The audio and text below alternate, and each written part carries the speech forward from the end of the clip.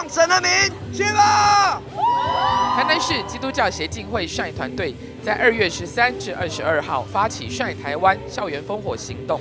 每晚去到一所大学祝福祷告，为期八天，走遍八所校园，连接各校基督徒，每天都有超过一百位青年参与。八场校园烽火行动都有不同的祷告主题，却有同个方向，兴起青年祷告的声音，让土地受到上帝祝福。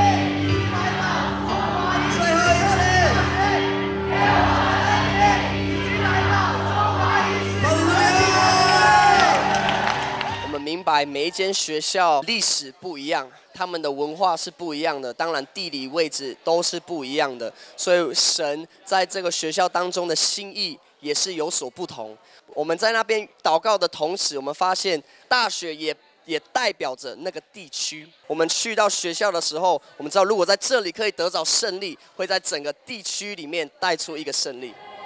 校园烽火行动除了有台南青年参与，特别在二十二号晚间的祷告聚集，横跨从南到北七十五间教会机构、二十二所学校，超过五百人凝聚在台南大学，甚至有 Apostle Twenty Nine 团队参与，汇集青年世代祷告的声音，也有牧师团队的支持与遮盖，众人在敬拜跳舞中为校园祝福祷告。